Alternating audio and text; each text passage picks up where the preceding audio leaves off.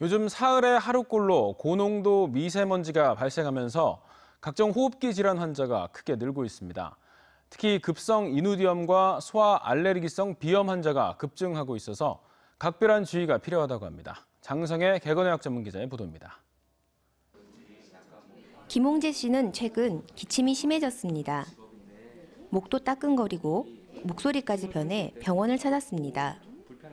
실내에 있으면 괜찮은데 제가 바깥 활동하게 되면 목이 약간 좀 따갑고 좀 헛기침이 나는 편입니다. 인후두염은 인두염과 후두염이 동시에 생기는 질환으로 미세먼지 속 세균과 바이러스가 침투하면 걸리기 쉽습니다. 인두는 목 안에서 식도의 음식물을, 후두로는 공기를 전달하는데 인후두염이 생기면 음식을 삼킬 때 심한 통증이 생깁니다. 잦은 기침과 가래 두통도 나타나 일시적인 목감기로 오인하기 쉽습니다. 하지만 감기보다 고열과 근육통이 심하고 호흡곤란까지 생길 수 있어 주의해야 합니다.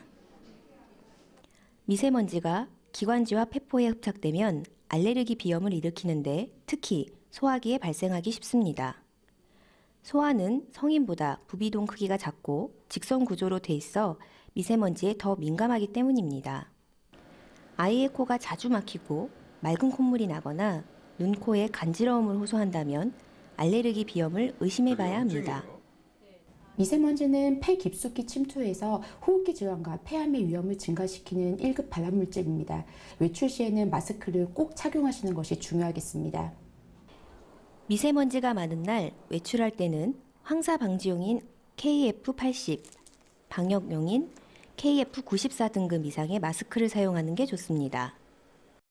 또 체내에 들어온 유해 물질을 희석시켜 땀과 소변으로 배출되도록 물을 자주 마시는 게 좋습니다. TJB 닥터 리포트 장성입니다.